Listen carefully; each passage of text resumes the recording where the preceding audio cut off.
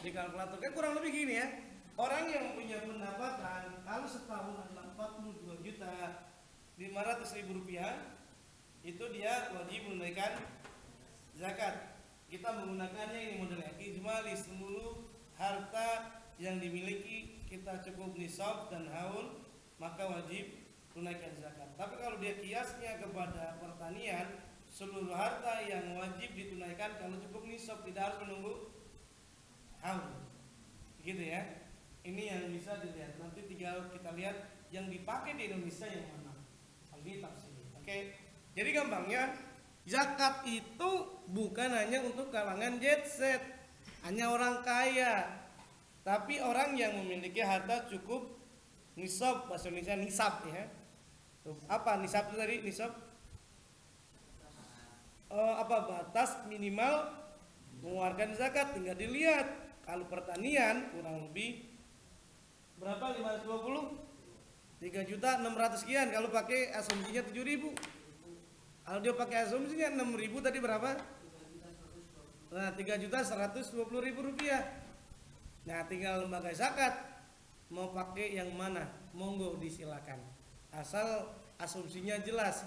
Jangan sampai ada beberapa lembaga zakat di Indonesia terutama bas-bas pakai asumsinya apa? Harganya nggak masuk akal.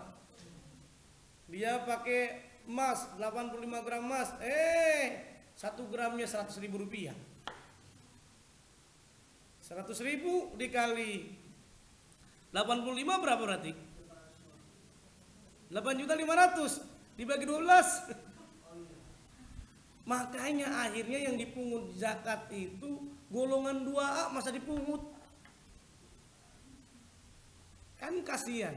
Ya kalau yang golongan 2A bukan zakat tapi sedekah. Begitu kan? Ini yang perlu asumsinya itu yang konteksnya harganya tadi sesuai dengan harga yang berlaku. Kira-kira seperti itu yang sudah ada. Kemudian zakat dibayar langsung ke musaik tidak melalui lembaga zakat. Saya tanya ini kepada relawan-relawan kawan-kawan di GYD Geria Yatim Duafa ini yang mudah-mudahan jadi relawan yang menjadi amanah ya saya tanya kira-kira bayar zakat itu langsung atau melalui lembaga? Yang idealnya bayar langsung atau melalui lembaga? lembaga? Apa kira-kira dalilnya di mana? Dalilnya langsung. Dari mana dalilnya langsung? Ada nggak? Ada nggak? Azhar mana langsung tuh nggak? Jadi memang boleh, langsung boleh gitu ya. Langsung boleh, tidak langsung juga boleh. Nah yang tidak langsung di antaranya ada kalimat tadi yang sering kita ulang-ulang. Khud min amwalihim saudakotan. Saya tanya, khud itu kalimatnya apa? Fi'il amar perintah. Ambillah, pungutlah. Berarti ada apa? Ada yang memungut, berarti siapa? lembaga kalau kajiannya adalah kajian fiskal, oh ini berarti pemerintah, swasta bisa, gitu ya. Makanya akhirnya otoritas bajitas itu sekarang lebih lebih besar sekali, padahal trust masyarakat, mohon maaf gitu ya, itu lebih banyak ke mana? Plat merah atau plat yang biasa? Plat yang biasa dari segi aset pendapatan juga itu yang besar adalah yang bukan plat merah. Karena etos kerjanya pun walaupun sekarang sudah ada perkembangan itu biasanya tadi buk yang plat merah kan sudah dibatasi jam 3 udah pulang. Ya kan? Plat yang bukan merah itu boleh jadi Sabtu Minggu juga dia masih masih berpikir siapa lagi yang mendapatkan bisa jadi sasaran? Begitu kan? CSR mana lagi? Nah itu ya kreativitas apalagi programnya ini yang bisa kita lihat. Jadi kalau berdasarkan ayat Al-Quran itu, maka Mufasirin menyatakan zakat itu idealnya adalah melalui lembaga. Apa sebabnya? Ada kewibawaan martabat bagi orang yang diberi. Orang yang memberi pertama dia tidak sombong karena tidak langsung. Ya kan menjaga nilai keikhlasan. Ini yang secara sederhana. Di samping juga orang yang diberi merasa nggak enakan karena dia ngasih, tetapi tadi itu modelnya. Tapi boleh kita misalkan mempunyai harta zakat, infak sedekah dan beberapa lembaga zakat saya sudah saya tanya.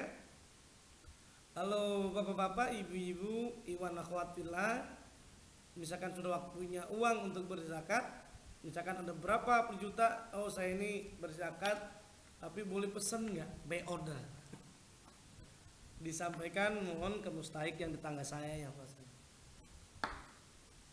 Beberapa lembaga boleh bisa menyatakan tadi beberapa persen bisa disampaikan didistribusikan. Artinya tadi kan yang pertama nilai keikhlasan kalau melalui lembaga itu tadi ya. Kemudian distribusi zakatnya juga tidak tertumbuk kepada satu mustahik. Coba kalau seandainya orang bayar zakat 200 ribu, 200 ribu, 200 ribu, itu kan langsung buat makan aja kan? Boleh jadi dengan lembaga bukan hanya buat konsumtif, tapi bisa menggunakan semi produktif atau produktif. Apa itu kalau konsumtif? Kalau kita ngasih zakat, intak, sedekah langsung habis. Buat apa? Bayar langsung ya. Kebanyakan ini penyebabnya ya. Padahal boleh tidak langsung. Nah sekarang saya tanya, kenapa masyarakat bayar zakat langsung? Tidak langsung. Apa penyebabnya kira-kira? Kepercayaan. Yang kedua, didoain. Apalagi kalau datang ke ajengan ke kiai, doanya panjang. Nah kalau masyarakat kita pengennya didoain semestinya lembaga zakat terutama ini geria yatim dompet tua apa dan seluruh lembaga zakat harus ada doanya juga dong. Doanya panjang-panjang juga boleh. Karena dalam ayat Al-Quran ada kelanjutannya kan? Hud min amwalihim sodakotan tutohirum watu zakim biha. Kebanyakan sampai sini doang titik. Padahal masih ada kelanjutannya nih yang ini yang sering dilupakan oleh kita. Wasolli alaihim dan doain mereka. Berarti amilnya doain. Misalkan kita bayar zakat sekarang kan melalui ATM. Kalau bisa nanti struknya tulisannya terima kasih zakat Anda semoga harta Anda berkah. Banyak anak, banyak rezeki. kan begitu ya? Jadi bukan hanya doa yang pengertiannya kalau dia datang ada bagian tim tim ustadz kan lumayan buka rekrutmen tenaga kerja ustadz bagian doa. Iya kan? Ustadz Azhar suruh doa nanti kan. Doanya orang-orang doanya bacakan apa kan? Ajar Allah ini Allah mabarik lana fi marzaqtana wa qina azabannar makan. nah, ini dia ya. Nah, antisipasi biar zakat tidak hanya dibayar langsung masyarakat tadi yang banyak yang kasusnya orang kaya orang yang banyak harta-hartanya pengen langsung biar tenar. Maka tadi dengan lembaga zakat tadi tidak terjadi yang namanya tadi meninggal dunia itu. Karena kenapa? Boleh jadi distribusinya langsung tepat sasaran. Dan wasolli alaihim doain mereka inna solataka sakanul lahu Sungguhnya doa kamu, doa lembaga zakat, doa orang yang mustahik yang mendapatkan zakat itu tadi ketika didoain sakanul laum membuat mereka yang berzakat itu membuat hatinya tenang, tentram. Kenapa dalam kita nikah ada ucapan sakinah, mawada, waroma, habis mawada, makona ya. Jadi sakinah mawaddah warahmah itu ketentraman. Sakinah itu kan asal katanya rumah. Sakin, tenang, tentram. Orang yang berzakat tadi bukan ketika dia mengeluarkan hartanya dijamin memang dia pasti dapat pahala dan sebagainya, tapi jangan lupa didoain. Wasolli alaihim karena kenapa? Inna salataka sakanul. Membuat mereka yang berzakat mereka yang infak mereka yang sodako, mereka yang wakaf itu membuat hatinya tentram didoain. Nah ini yang secara sederhana. Nggak perlu didoain juga udah dikabul kan? Karena rezeki kita pama man alto watako wasadako bil husna fasayunas siruhu lil yusra. Sebaliknya kalau kita nggak bayar zakat, kita pelit, kita bahil, kita nggak sedekah, wa amma membahila wastagna wa kadzaba bil husna fasayunas siruhu lil yusra yang awalnya urusan kita mudah jadi sulit gara-gara apa? Bakhil. Dalam Al-Quran dinyatakan nanti tinggal dicek Waman kudira alai rizku fal yunfik mimma atahullah Kalau kawan-kawan pacek klik Kawan-kawan belum ada jodohnya Kawan-kawan lagi ada masalah. Nah itu terjemahan bebasnya kan begitu. Waman kudiru alai rizku barang siapa yang rezekinya itu sedikit yang tidak banyak belum sukses fal yunfik mimma atahullah maka suruh ngapain kita? Suruh infak suruh sedekah.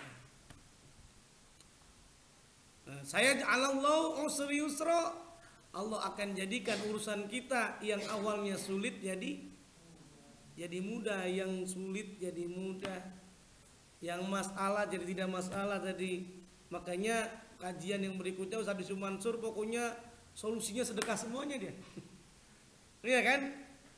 Usahanya gagal karena kurang sedekah. Begitu ya. Nah itu pemahaman keyakinan yang ada Ustaz Bisu Mansur tapi memang kalau kita lihat-lihat memang semuanya itu Said Allah usri usro yang belum dapat jodoh karena belum punya anak karena kan begitu ya. Ya tapi kan semuanya lagi-lagi tergantung kita semuanya ya kan? Nah dalam surah at-tolak ayat 2 ayat 3 pun dijelaskan. Nanti kawan-kawan tinggal cek ulang kembali. Wa may yattaqillah yaj'al lahu makhraja wa yarzuqhu min haitsu la yahtasib wa may yatawakkal Allah wa huwa hasbuh itu artinya apa? Udah jelas itu kan. Barang siapa yang bertakwa kepada Allah termasuk tadi melaksanakan amal kebaikan, berzakat, infak, sedekah dan sebagainya. Wa may yattaqilla yaj'al lahu makhraja Allah akan jadikan jalan keluar. Wa yarzuqhu min haitsu la yahtasib diberikan rezeki yang tidak disangka-sangka dikira-kira. Ini yang menarik. Nah ini buat bekal juga buat kawan-kawan semuanya. Nanti e, dalam memberikan pemahaman kepada masyarakat dia bisa berzakat imbak sedekah. Jangan dikasih pemahaman begini. Ibu kalau nggak bayar zakat impak sedekah masuk api neraka. Oh nggak mau dia. Gitu ya. Tapi berikan ilustrasi berikan kisah-kisah biar supaya mereka termotivasi bu di dalam Al-Quran dinyatakan orang yang bersedekah akan dilipatkan minimal berapa kali lipat? 10 kali lipat sampai 700 kali lipat. Kalau 10 kali lipat nanti tolong cek surah Al-An'am ayat 160. Apa bunyinya? Man jaa bil hasanati falahu asru amsalihah. Yang artinya apa? Barang siapa yang melakukan amal kebajikan termasuk bersedekah diganjari berapa kali? Asru itu 10 kali lipat. Sampai 700 kali lipat apa dalilnya? Surah Al-Baqarah surah kedua ayat 261. Masadul ladina yunfikuna